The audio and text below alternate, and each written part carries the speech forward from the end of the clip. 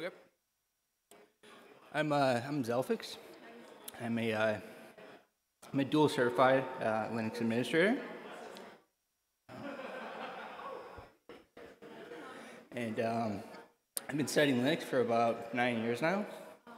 Um, I have a few different projects. If you go to like uh, my Twitter, I just started doing like cheat sheets where I've been posting stuff like that. And uh, I also have uh, do like video tutorials and stuff like that on YouTube and uh, archive.org as well.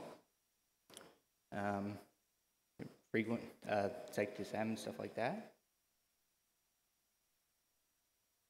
So um, I always like to start with FireJail with uh, a lot of my, a lot of my talks, just because it's so uh, fundamental in everything I do around Linux. Uh, just because it's uh, the greatest utility I've found for um, just being able to do almost anything you can think of. You can start uh, you can start things in their like own mount namespace. You can uh, put things in their own VLAN interface. You can um, you can segment them off in their own like mount namespace. You can uh, blacklist directories or files or whitelist them. Um, it's a pretty fascinating tool. And it's, it's all written in C as well. Um, so,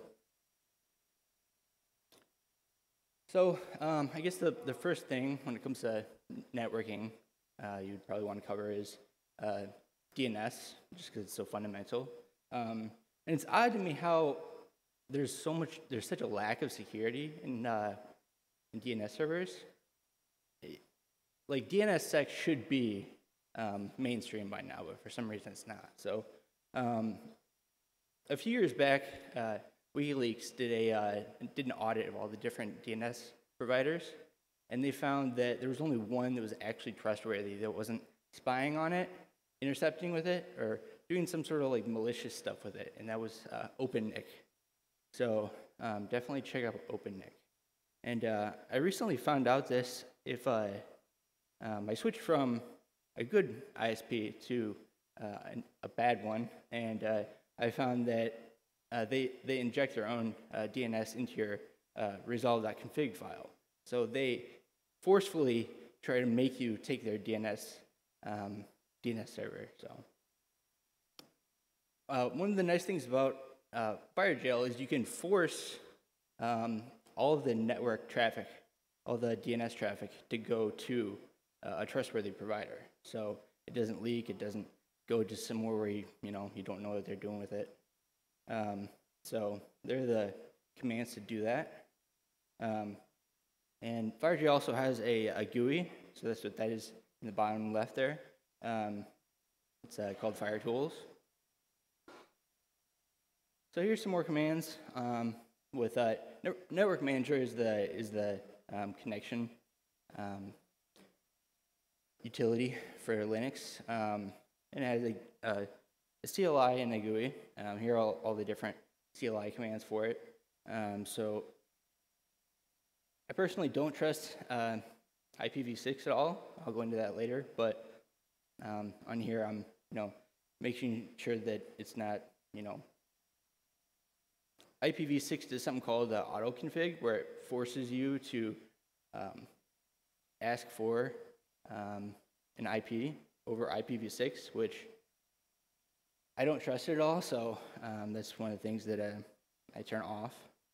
Um, and uh, RF is an, another interesting one. Uh, that's for uh, for Wi-Fi. It actually um, turns off the, the kernel module for the um, for the wireless.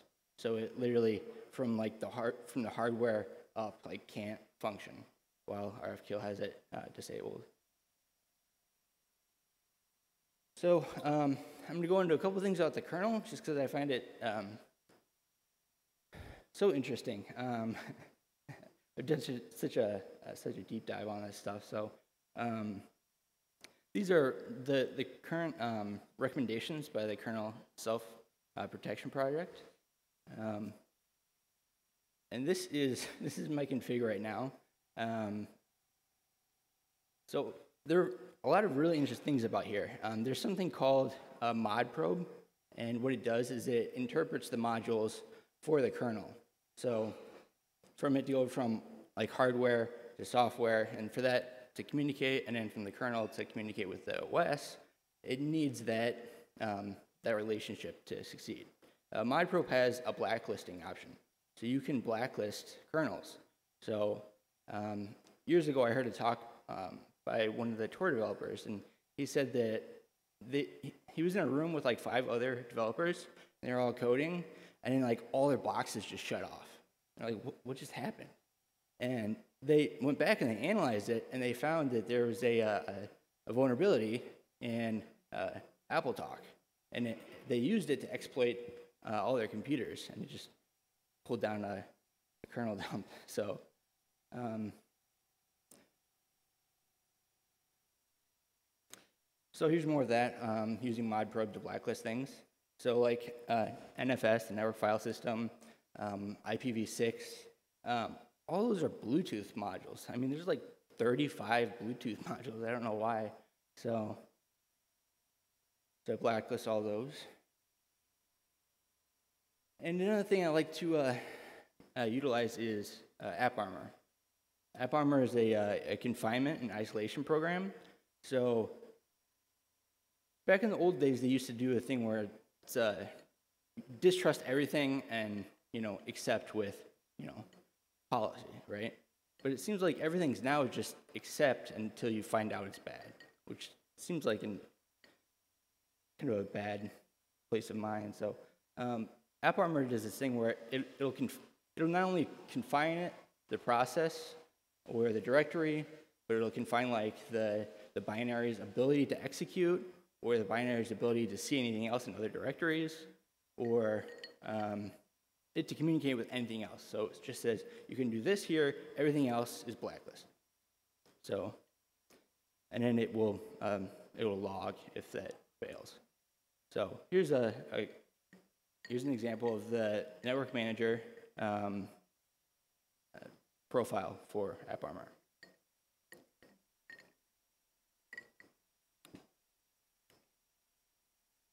So these are all the different profiles. Um, I think there's, I have like 132 profiles right now. So I just did a, a status to find out how many, um, which ones are active. So that read off a bunch of different things. So um, to, to get AppArmor to work, and I know this is kind of complex, um, that's why I gave out my talks, so, and my, uh, the PDF for this, so if you ever want to replicate anything here, it's, uh, the whole talk's designed to be uh, completely replicable. Uh, you're replicable, yeah.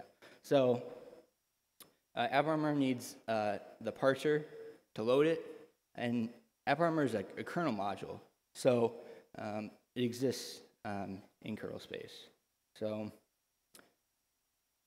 so there you see it's um, uh, enforce is enforcing it, um, confine is logging it, enforcing it is if it's not supposed to be doing that by policy, it'll force it to uh, die. it'll kill the signal. So, and then you can use uh, uh, to print off um, what that um, process is doing. So, like here, um, this is FireJail. I'm using it. Uh, as you can see, I define my own DNS.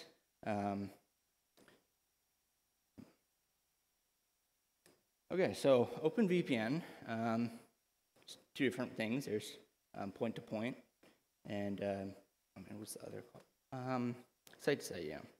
Um, and you never want to use uh, OpenV, Open, OpenVPN with uh, TCP. Um, you always want to use it with uh, UDP. That was they discovered that just because of I think the packet size was too big with TCP, and it was causing all kinds of like uh, load balancing issues and stuff. So I don't know if anyone remembers this. Um, back in 2019, um, like one weekend, they said that every VPN was broken, and they said that this exploit worked on every VPN, whether it's like you know Cisco, whether it's um, OpenVPN, whether it's every technology was broken by this uh, implementation and it was uh, quite alarming. so I, uh, I looked into it uh, further. I stayed up all night, like looking through different um, um, RFCs. And uh, before they found it was probably a couple weeks before they figured out how easy it was to actually fix the issue. But I found that OpenVPN is, by design is very secure. It's it's how it's used. I mean, there's like four different ways that you can add ways of extra authenticating the connection, um, but it's a lot of times just used as a uh, the VPN provider just gives you a cert, and then there isn't like that uh, bidirectional communication. Um, you can use a site to site and both exchange like TLS uh, connections, and that that's safer than um, just a cert. So, and then you can also um, you can also add um, what that's called. You can do, you can define something that's in the cert um, through the, the traffic, so that if someone tries to man in the middle it, um, and they're not presenting that um, that fingerprint in there. So, um, yeah, setting this up a site to site, just a person to person, um, nothing in between, is really easy. You just exchange a TLS key, and then one person puts zero and one puts one in the config, and they connect. So, um, a lot of ways that people will man in the middle OpenVPN is uh, they'll just kill the kill the connection and uh, try to continue the connection with the person that doesn't know that it has ended. Um, I've heard stories about people who uh, they go to like China and stuff like that, and uh, they uh, they know that the other person on the other end killed the connection, but the connection is still going because someone's trying to man in the middle of the connection. Know, so. All right, so here's another way of uh, using um, systemd. Um, so uh, systemd will try to um, resolve, or Network, networkd will try to resolve um, the, the, uh, the DNS, and you don't want that. Uh, WireGuard and OpenVPN both do their own um, DNS and uh, traffic. So that'll just make it unstable. So um, first I'm going to cover uh, Mullvad. Excuse me. So looking at, there's probably hundreds of different VPN providers, but really there's only two that seem trustworthy to me, and that's uh, Mullvad and Proton VPN. And uh, the thing that really made me interested in them uh, at first was uh, they had something in their, uh, their blog that said, you know, um, privacy is a human right, and they cited um, the UN saying it's uh, been declared a, you know, human right, and uh, the, the European Commission. And uh, I think that says a lot. Um, I think most people, I don't know. It's a hard thing to fake. I guess you could fake it, but it just seems very genuine. So, um, and since then, um, I think the European courts have actually laud um, surveillance and um, against human rights, which is interesting. Um, there are a few other resources for activism stuff. So Mullvad doesn't log, open source. Uh, they use WireGuard as well. Um, if you use Android, uh, they use F-Droid, which is an open source repository um, and better implementation than what uh, Google has. Um, and it has a kill switch as well. So uh, uses both uh, open, OpenVPN servers and WireGuard servers. So they both use uh, SOCKS 5. And um, so they're going to have different um, listening interfaces. So when you, uh, when you set something up, um, the, the WireGuard is going to use 6.4 and, Wire, and OpenVPN is going to use 8. So, all right, so we're, uh, we're going to go ahead and download uh. And uh, in, in Linux, you like to uh, check everything against uh, signatures. to verify the code um, is trustworthy. So here I'm just grabbing uh, the GPG key from the developer. That's doing it a different way. I'm just doing it through curl. All right, and then I'm, I'm verifying the code. And as you can see, it's uh, trustworthy. Okay, so um, here are the, the specifications for OpenVPN, the highest, um, you know, protocols you can use. So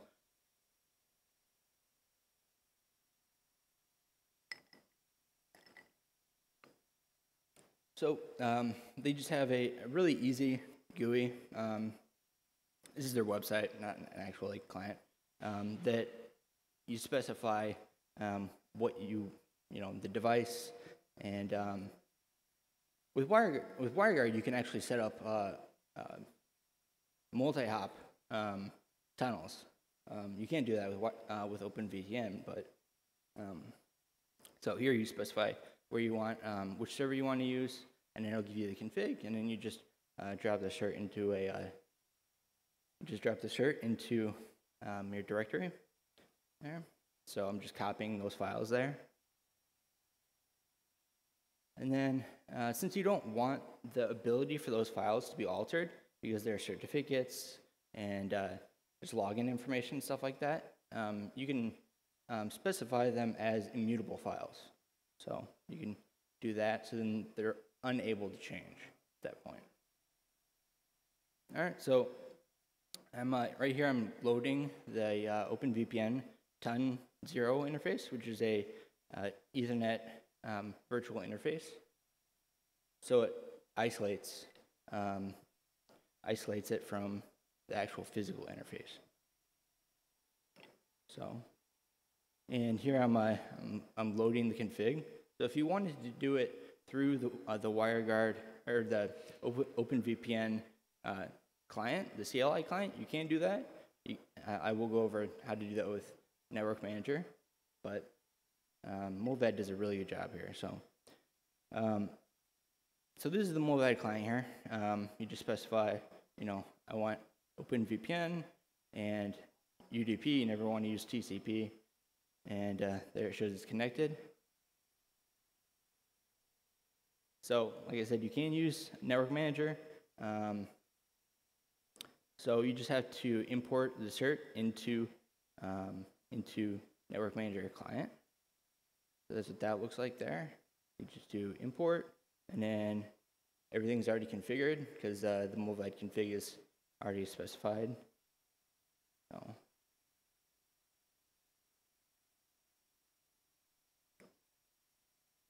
So there, it's just uh, successfully established.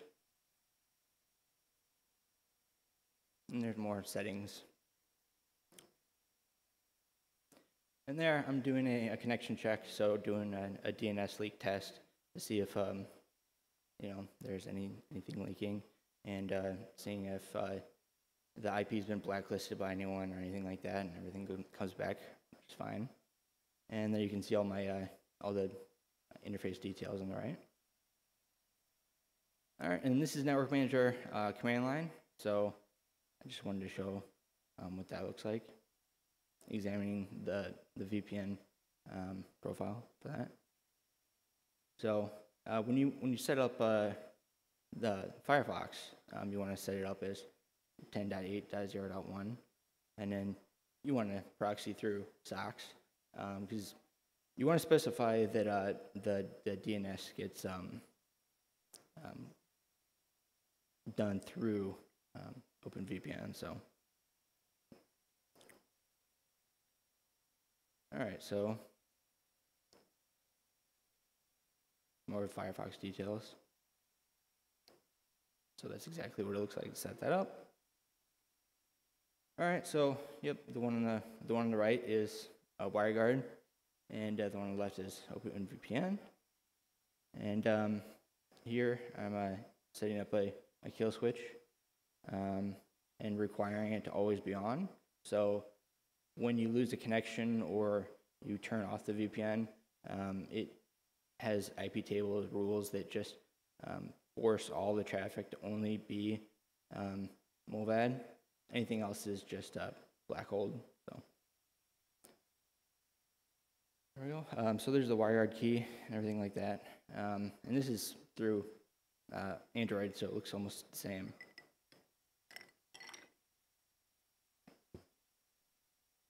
And uh, this is a, I don't know if anyone uses Telegram. Uh, Telegram, um, setting up a um, SOCKS 5 proxy with Telegram. That's this one is WireGuard. So.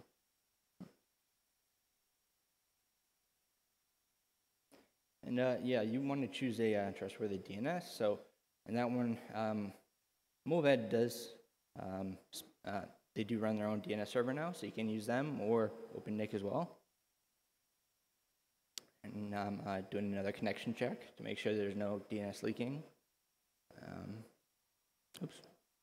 And yeah, I'm just doing TCP dump just to show you what the beginning of the connection looks like. And those are the IP, IP tables um, rules to uh, specify uh, the kill switch.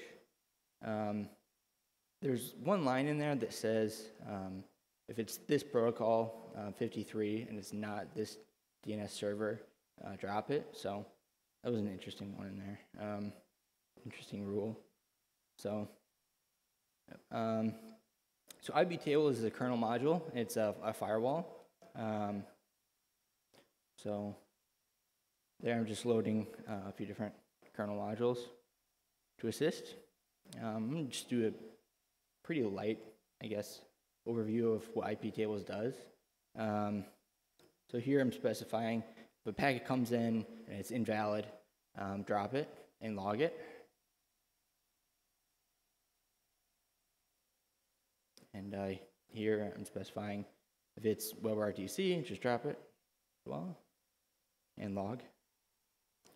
And uh, this, uh, these are all the different kinds of port scans you can do, like with Nmap and stuff like that. Um, and I'll go over that in a second. So those are all the different rules for those. So these are all the different types of like um, port scans that are normally used. So, and uh, that's what that's what they are, um, and that's what they look like. So, um, and these are the rules put up against them to show you um, what that looks like. So, and really all I'm doing here is you're just specifying the TCP flags. So it does get much more complicated once you get into like snort and stuff like that, where they just take like the hashes or um, or the binary value of like the packets and stuff like that. So um, I think that the the most important thing about like IP tables is that the default rule is drop. You should only be accepting packets you want. Um, so here's uh, uh some um, OpenVPN rules uh, specifying the uh, TUN uh, interface and then also uh, the virtual interface and also the, the protocol, accepting them. And you want to turn on um, IP forwarding so that it's able to do that.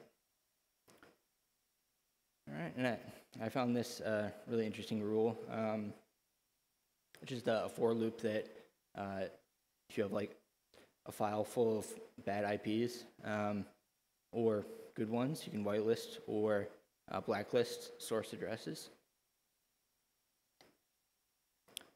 So, and then that's how you would save the rules, and then you can restore them at a later time. And uh, you can convert those into uh, NF table rules, and that's what that looks like. All right, um, so IPset is a, uh, is, it's kind of like Snort and stuff like that. It's an IDS in, in a way. It, uh, you take in known bad signatures and uh, bad IP addresses, and um, when like malware analyzers found, find um, signatures to these, and they upload them to these companies, and you can use that to um, do some analysis and uh, search for that kind of stuff. So, so this is how you would use uh, IPset. Um, here I'm just uh, enabling all these different rules, and it's fetching them. You can see that it downloaded it correctly. And I made this um, uh, so that I don't think it's like a, it's meant to go with um, firewalld or a couple different other implementations. I don't think it was supposed to be used um, with the kernel, the IP tables. So um, I wouldn't exactly recommend this. I would probably recommend going through like Firewall D, um, just because it's not a kernel module. Um, sometimes it's resolving and uh, a, a lot of files. so, um, and it does it on like a, a periodic basis. So here I'm saving that, and then uh, FW snort, which is it basically takes uh, snort signatures and it converts them into IP tables values. So you can use snort signatures with IP tables. And that's what it's going to look like. So, all right, and you can save that and then restore those um, at a later date. So, um, can someone give me a water, possibly?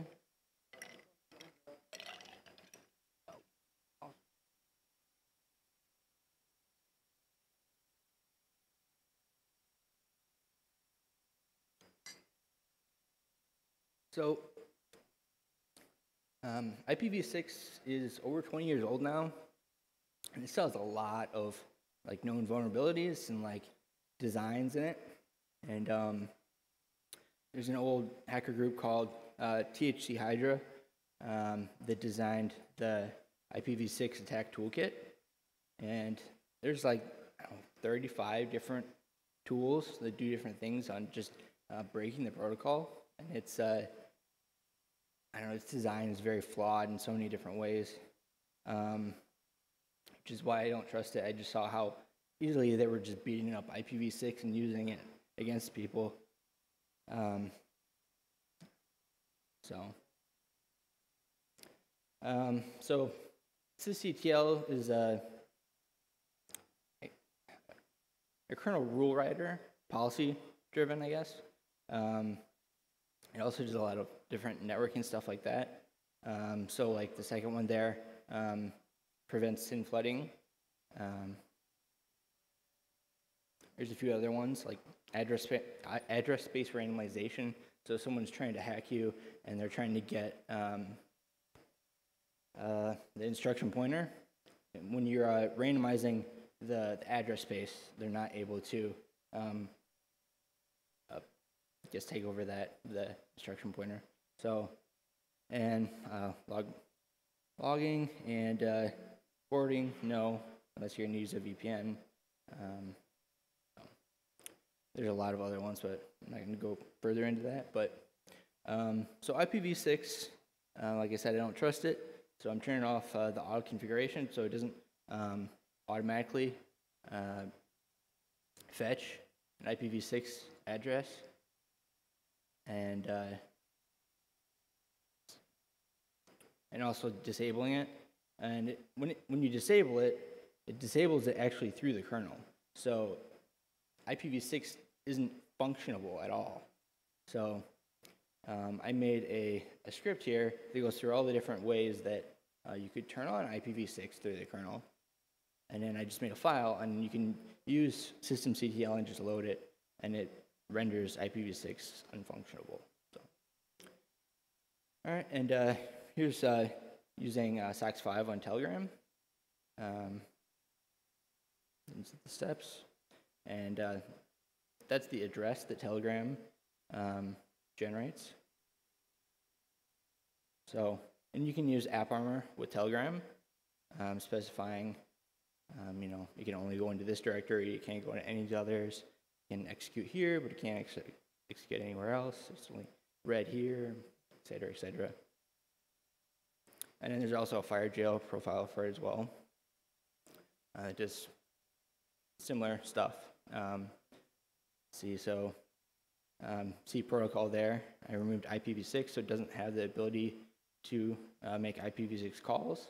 It also doesn't have the ability to um, pivot around in groups. It doesn't have the ability to um, be root um, or gain shell access um, or gain access to any mount or uh, external disks. And that's the, that's the GUI that shows all the different things that it does. So, and here I'm doing um, more leak testing with uh, Mullvad. And it has a uh, API. So you can actually do it through the command line if you want. So, and that's through another provider, just dnsleaktest.net. Okay, so this is a, a qBittorrent, so a torrent provider.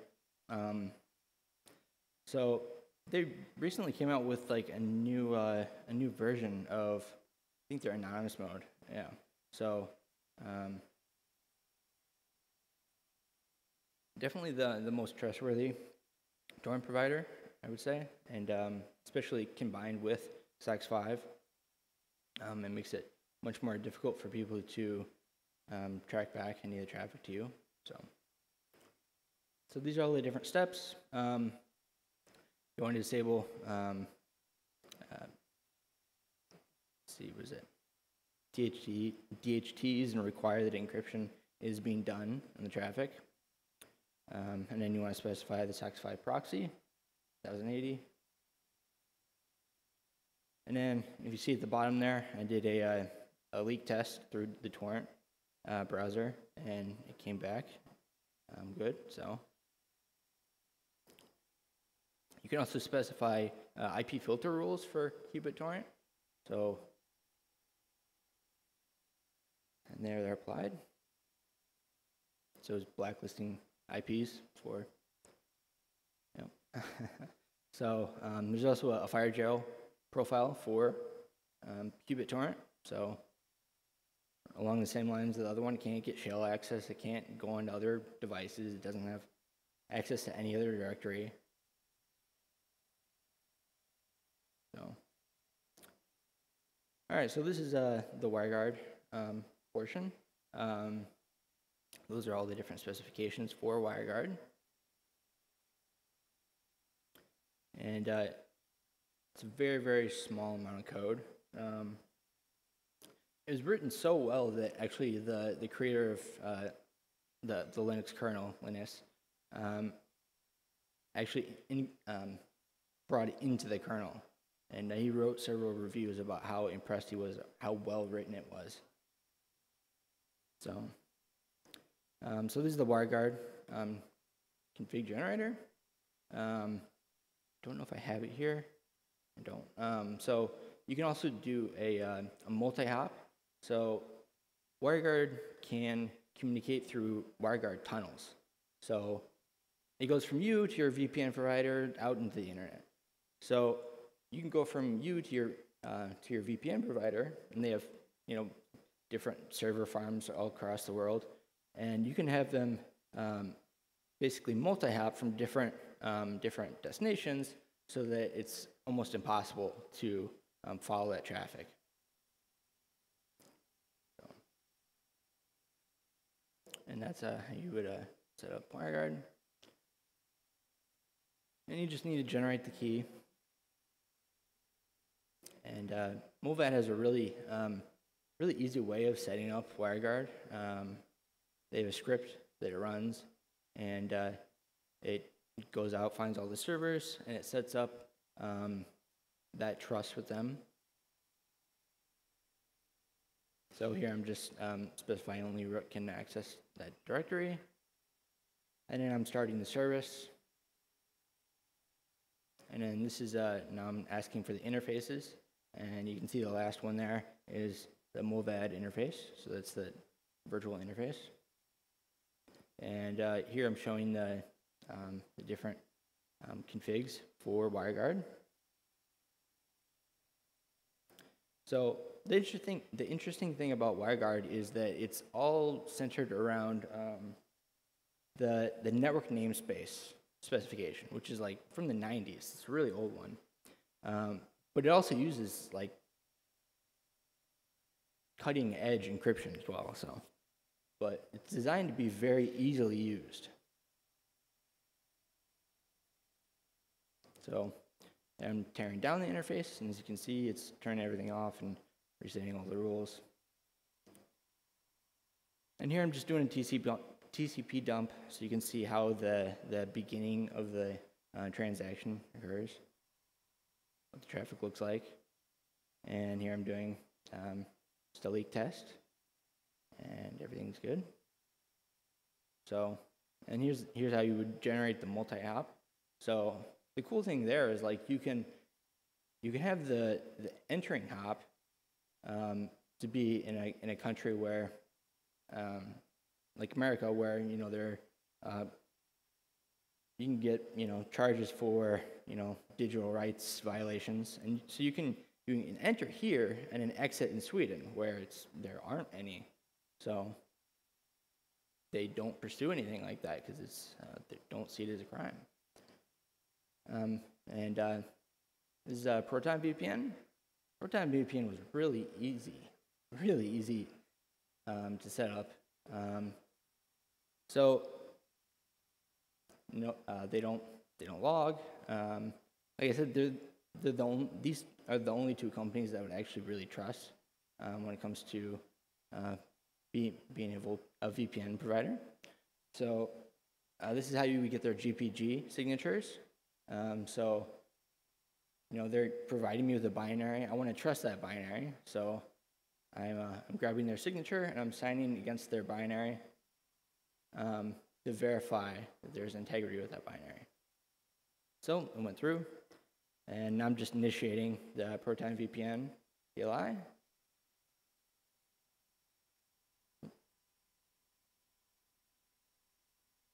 Uh, Proton VPN uses um, um, IKE2, uh, which is it gives you a username and password to use with um, the VPN uh, login process.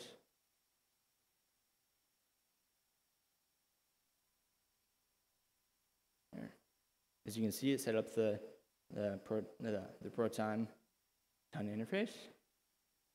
So you want to set up a leak protection and then um, enable a kill switch and as you can see, I'm coming from the Netherlands. And then you just disconnect. So, all right, and these, these last few slides are just uh, um, cheat sheets. Um, so, like uh, system admin, stuff like that, to just control processes and stuff like that. So, uh, Journal CTL is just a, a logging utility. So these are all the different things you can do with it. Um, um. Um, there's a lot of different things. Um, it, you know, it can, it can trace sockets, it can trace processes, it can trace uh, directories. So if something's in a directory doing something, but you don't know what's accessing the directory, you can uh, run it against that directory and find out who or what is accessing the directory. These are a few different ways you can uh, um, utilize it. Um, fuser is a, another interesting one. Um, you can uh, basically specify a directory and anything that's accessing that directory, whether it's the user or process, uh, it kills that, or you can find out who's accessing it. Um, kill um, is misleading. Um, kill just manipulates the different uh, signals. So there are like 15 different signals. Um, the first one is like uh, reload the process. Nine is to kill it with uh, impunity. so those are all the different signals and what they do, and all the different things that all the different kill commands. Uh, PID specifies the process's ID. So um, you can specify the user, and it'll give you what processes that user is using. And then strace is a, uh, a system call tracing utility. Um, so um, run very, very, very, very of Oberst output. so, and then uh, this just trace sockets uh, gives you sockets sockets statistics. So, and that's a TCP dump. Um, and uh, that's it. All right.